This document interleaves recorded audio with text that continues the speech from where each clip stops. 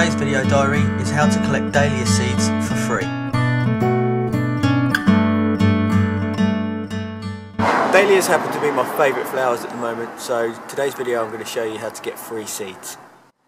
As you can see here, dahlias are extremely beautiful flowers. They come in many colours and loads of different sizes. There's two ways you can collect seeds. The first way is to check all the flowers that have recently died for any dry heads, like this one. Then all you have to do is just pick off the head and check for the seeds.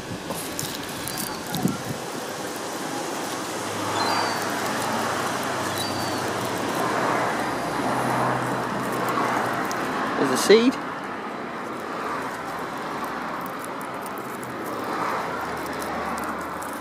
Loads of seeds. Now this is the easy way to collect dahlia seeds. You can do it with most other flowers as well, but this is the one that you can do during the summer. In the wetter seasons it's a little bit more difficult, so this is how you do it. This is a little bit early, and as you can see, it's getting a bit wet, so they're probably going to rot. So, I just want to snip that off down there.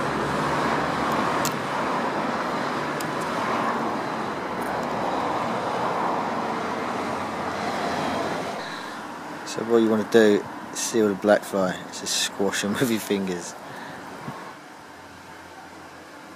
Unfortunately dahlias are prone to black fly, but one of the best ways to cure this is to use eco-friendly washing up water and just spray them on lightly.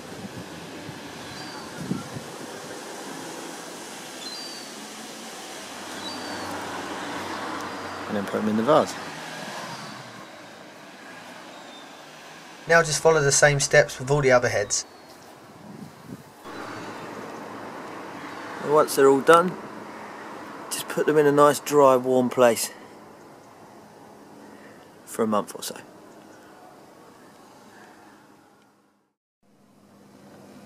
So here they are four weeks later. They've all got a nice straw colour, really dry and the seeds should be ready to harvest. All you do is get the head, take it off from the bottom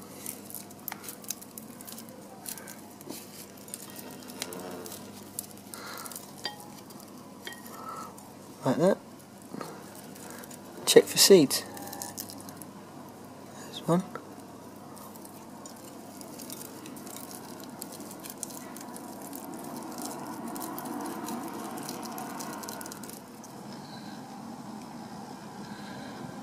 All you do is just remove this little piece. Collect all the seeds.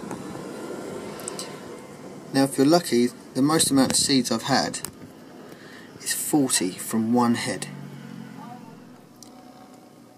So once you've harvested all of the heads and collected all the seeds I've managed to get over 350 seeds from around a dozen heads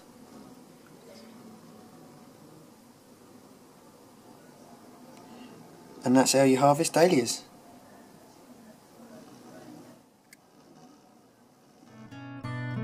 I hope this project diary has shown you just how easy it is to collect your own seeds.